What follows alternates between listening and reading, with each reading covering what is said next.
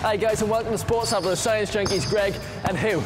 We're here to give you an insight into our world and uncover all the science and tech that makes these sports so awesome. You done? Ah, come on. Today we're going to crossover, dribble, shoot an alley-oop and take to the court in one of my favourite sports. Basketball.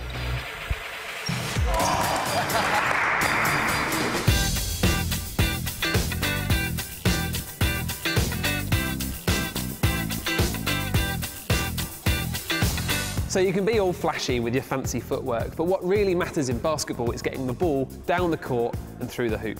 So how do you nail a perfect shot? Uh, okay, I'll try. Go on then, Greg.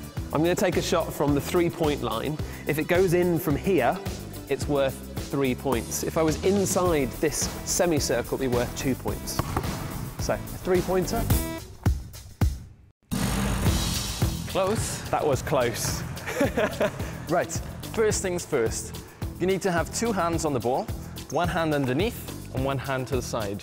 This hand, all the power is going to come from it. It's the shoot-in hand, okay? And you go one off hand and this is going to line up. Two hands, one underneath, one on the side, goes Right, in. so he rotates his shoulders, pushes his elbow out, and flicks his hand. His hand flicks back, and that puts a backspin on the ball. Do to see it done? Yeah, all right, let's see it then. Let's give it a go. Here we go, no pressure.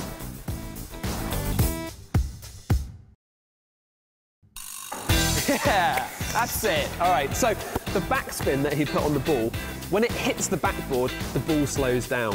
If there wasn't any backspin on it, it would probably just bounce straight off the backboard. Like yours. Yeah. So let's look at what happens after the ball leaves my hand. The ball takes a predictable path through the air. In fact, throw anything through the air and it will take the same shaped path, a parabola. So, why does a projectile take this arc shape? When you release the ball, it's got a speed in a particular direction. We say it has a velocity. That velocity is made up of a vertical component and a horizontal component. As the ball flies through the air, gravity is accelerating it back down to the ground. But gravity only acts vertically, so it reduces its vertical velocity until eventually, right at the top of the arc, gravity wins the battle. The ball stops moving up and starts accelerating back down. The horizontal component doesn't change because gravity has no effect in that direction. This combination of vectors produces a classic parabolic path. Based on Huw's height, we can work out the angle and the speed that he needs to throw the ball to get it in every time. Which, by the way, is 51 degrees and 19 miles an hour. Yeah, thanks for that. But the problem is I can't tell my muscles exactly how much power to put into the ball. And I can't tell my eyes exactly the angle we want to judge it, so it doesn't work every single time. Or many times. Yeah, yeah, thanks for that. But I'm sure there are pointers where we can improve our technique to get that ball in the hoop more times. Let's go ask a pro.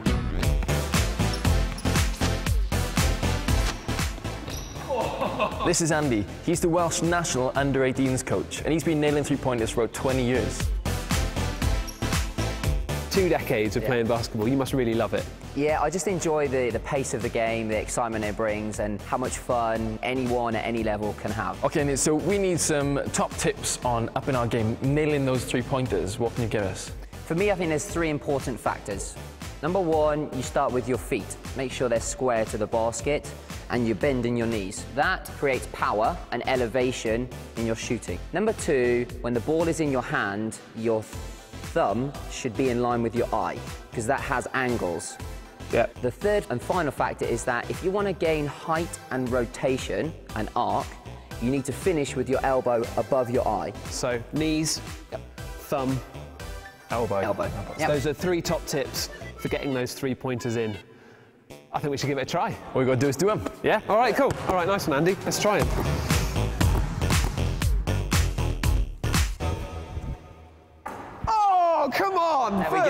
Time! What's really important with all sports, and especially basketball because of that three pointer, is practice. The more you do something, the easier it is next time.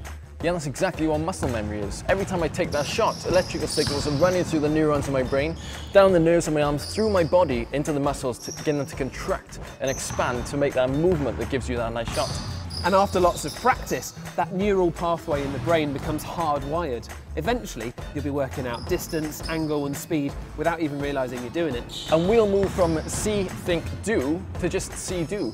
Once it's hardwired, it becomes a lot more effective and becomes quicker and easier as well. But you've got to make sure that you've got your technique nailed because otherwise you're going to be hardwiring bad technique and it's going to be really hard to improve it in the future. So it's not practice makes perfect, it's more perfect practice makes perfect. And we've got a lot of perfect practice to do. Very true. All right, Let's let's do it.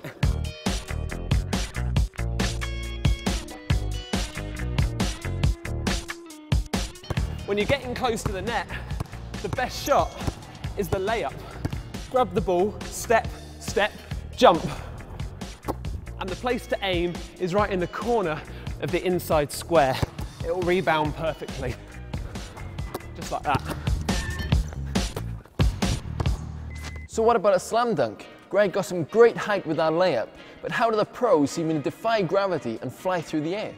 Their laws of physics are exactly the same as ours, but the way they get that height is a combination of power and a neat little trick.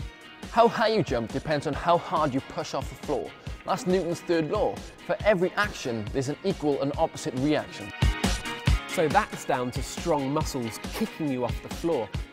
And the long hang time is because at the top of the jump, they throw out their arms and lift up their knees. That gives the illusion that they've jumped higher and that their hang time is really long.